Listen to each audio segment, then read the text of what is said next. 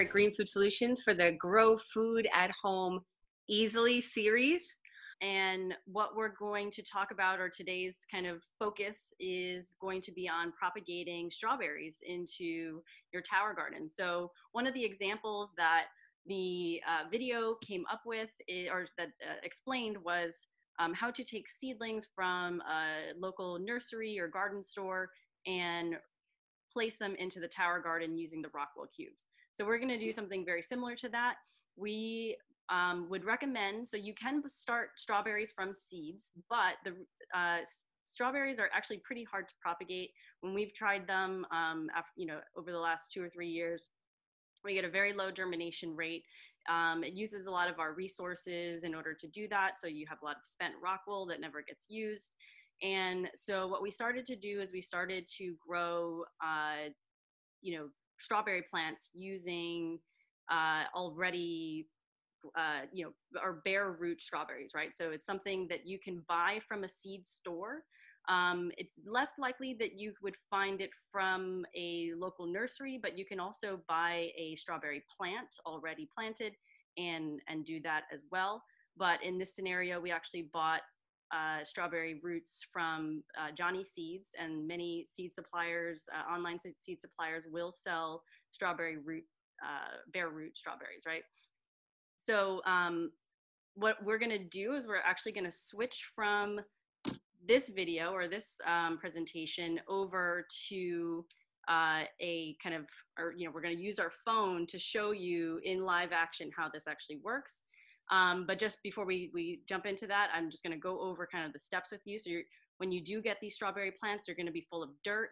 So you're going to want to wash the, the, the roots of dirt, just like the video was saying. You're going to cut the rock wool in half, place on top of the roots. And, and so you're going to sandwich the, the roots between the rock wool and then tie it together with a rubber band. So we're gonna show you that really quickly. Okay, so we're at the sink and what we're gonna do, first what I'm gonna do is I'm gonna just take the, the you know, it comes in this big uh, rubber band and to save myself some time because eventually I'm going to pull these apart and you'll see how many um, individual plants are actually inside of this big rubber band. Um, but what I'm going to do is I'm going to first wash it from here. So I'm going to take the, um, the plant ID marker out and then turn on your sink faucet. And if you see at the bottom there, we've got a lot of runoff, a lot of uh, turbidity, um, a lot of the dirt that came with this plant, which is totally fine if you're planting into a, um, a soil garden bed.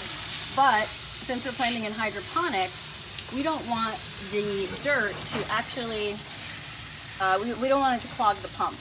And even though this is pretty fine dirt, I just don't want any possible contaminants from the soil to get into our hydroponic system. So that's part of the reason why we grow hydroponically is to avoid some of the contaminants that come in soil. So I'm just gonna wash this really quickly. Um, and then in a moment, I'll separate them. So now we're gonna take the strawberry plant roots and put them into the growing medium. Uh, we personally use rock wool. It's a super porous uh, material. It's, it's pretty, it's relatively inexpensive and um, it also is very porous. So the plant roots can grow through here. So if you're planting seeds in here, um, uh, the plant roots can kind of get right through. But today, instead, we are going to take the rock wool. So this is uh, already wet rock wool. We do this in order to reduce the pH of the rock wool to get it a little bit closer to, I guess, seven. And I'm just gonna cut off a piece of it, but you can, uh, from wh wherever you purchase your rock wool, uh, usually, oops, usually um, they'll come in these blocks, right? So today I'm gonna just show you an example with five strawberry plantings, roots. And what we're gonna do is we're gonna take the rock wool, take it apart where it naturally comes apart, and then we're going to slice it right down the middle. Sometimes you can go all the way through. It's not that big of a deal if you don't. And then open it up. So I actually ended up breaking it anyways. And I'm gonna take strawberry plant root and you wanna put the, this kind of horn right here towards the top of the plant, or towards the top of the rockwool cube and then the, the root system inside of the rockwool cube and let the, uh, the roots kind of flow through. And then what I'm gonna do, I'll close it up kind of like a sandwich. And then can you pause? Um, and you can see the strawberry here, how it looks in the rockwool. And what's important here is that the roots are, um, the, the top of the root mass is underneath the rockwool or below the, the, the top of the rockwool so that everything stays nice and moist. And then I'm gonna take my rubber band and wrap it around, be nice and gentle. And there you go, you've got your strawberry seedling ready to be transplanted into the tower. And so I put my clip in, so we prefer the clips, but you can also just pop in the, the net pot. And then I'm going to really gently place the roots inside of the tower and then make sure that it stuck snugly fits onto uh, the tower garden clip. And that's pretty much it. And we have this on automatic timer um, and we'll go over strawberry care in just a moment.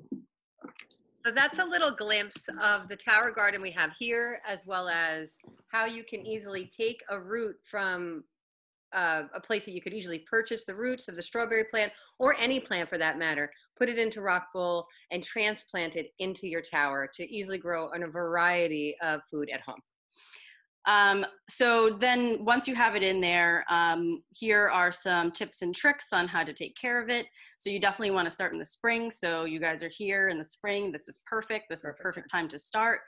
Um, strawberries need at least six to 10 hours of sunlight per day. So you definitely want to have it in a sunny spot if you can.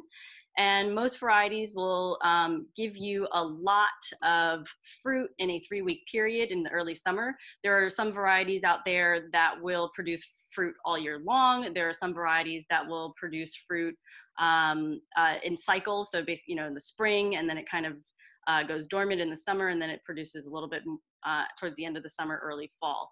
So there's a there's a lot of different varieties out there. So you definitely want to check into you know what kind of variety you're getting and make sure you have the proper care for it but this is uh, overall uh, you know for the most part the ones that that are going to be well for i guess the northeast environment which i think most of us pe- most of the people in this uh, group are living um, you're probably going to find it easier for a variety that um, will be harvestable in the early summer um, and then giving you kind of an abundance of fruit for about three weeks.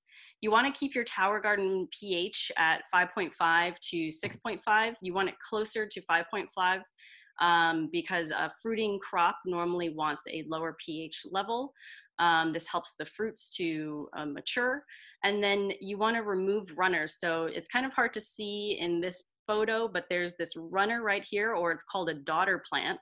And basically, uh, this plant up here or the one behind it is se sending out a shoot in order to create a brand new plant.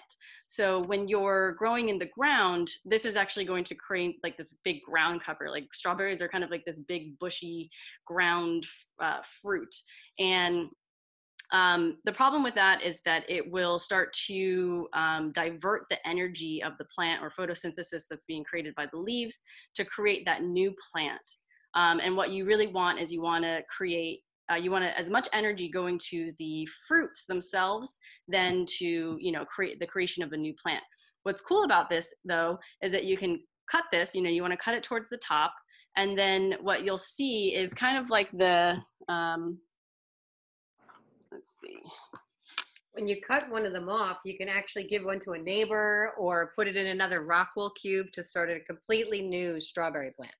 Right. So what you see right here, right, the it, that's what you'll start to see uh, in the new straw or the the runner plant, and so you can actually take that and and drop it into a rockwool cube and throw it into your tower, and you can start to kind of propagate strawberries. So you really never time. have to buy strawberry seeds again. Um, when you propagate your strawberries this way, uh, which is a really great way to save money um, and to let nature just run its course. Um, and strawberries are uh, subject to pretty much every type of fungus out there. Um, and so, what you uh, definitely want to do in order to avoid fungus is keep your tower in a well ventilated area. Um, if you're outside, you've got it covered. Um, if you're indoors, then you definitely want to have some sort of ventilation system, whether that's an HVAC system or uh, fans that are constantly blowing, um, distributing air ac- across the room. And then you want to set an automatic timer um, on the the uh, the uh, sorry, you want to set an automatic timer for the, pump. for the uh, pump uh, for 15 minutes on and 45 minutes off. Um, strawberry roots don't like it to be too wet, so, but you do want to keep, you know, in, in a tower growing system, you definitely want to have the timer go on at least once an hour. So, um, you know, up to 15 minutes is probably the most that you want to have it on. Um, you can use neem oil on the plant leaves as the last resort.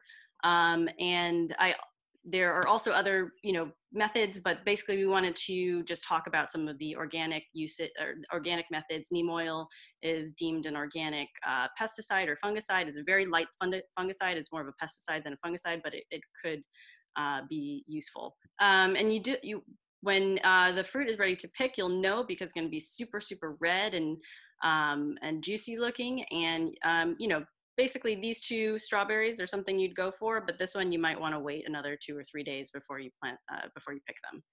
And um, we definitely suggest storing the strawberries unwashed, so you didn't spray them with chemicals or anything like that. And even if you did, uh, we suggest you don't wash them until you're ready to eat them because they'll store longer in the fridge.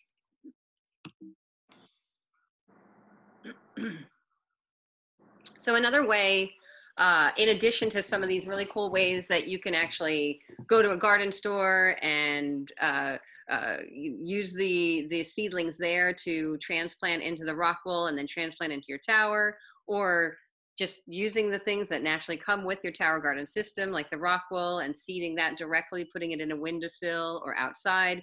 These are really easy ways that you can start your own seedlings um, or st- start them from a nursery. But the, probably the most convenient way is you can obviously order seedlings online.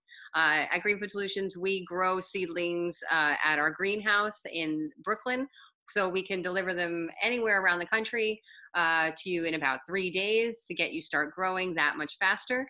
Uh, we send them about three uh, inches high, so you'll probably be seeing food and being able to harvest your food in anywhere from two to three weeks after receiving them.